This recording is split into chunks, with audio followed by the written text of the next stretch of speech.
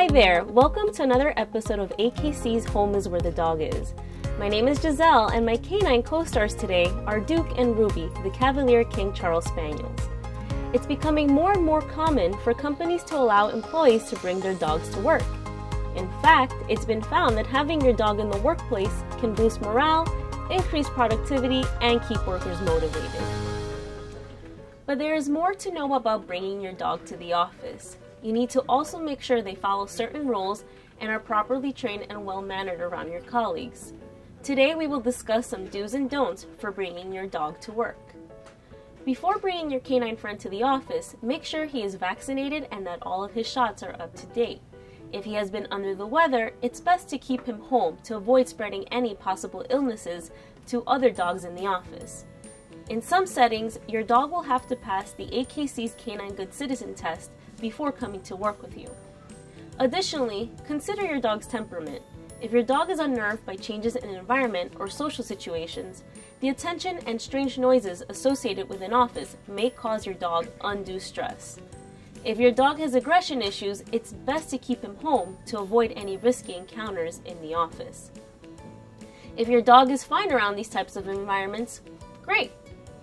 Before you bring him to the office, make sure you get prior approval from your Human Resources Department that dogs are permitted in your building. Additionally, make sure you ask your boss for permission and ask your coworkers if they're allergic or opposed to your dog being in the office.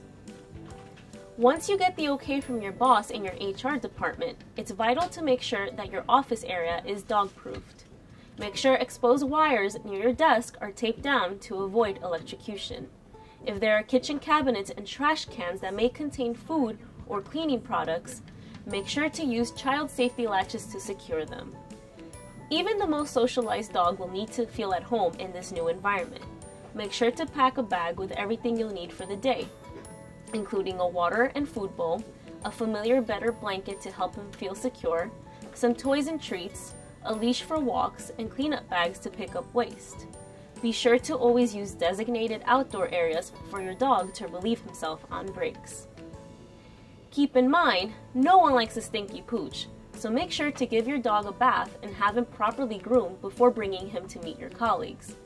Remember to always be a responsible dog owner and keep a close eye on your dog at all times. It's also helpful to have a work buddy who agrees to watch your dog if you go to a meeting or a call away from your desk. So, what have we learned today about bringing your dog to the office? Get prior approval from your boss and HR department before bringing your dog to work. Make sure your dog is not sick, is vaccinated, and up to date with his shots. Make sure your office is dog proof by taping down exposed wires and locking up cabinets and trash cans.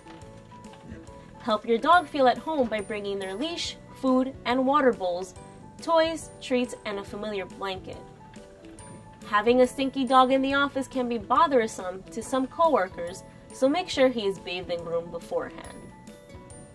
Always be a responsible dog owner and keep an eye on your dog the whole time or have a designated coworker who watches them if you are called away from your desk.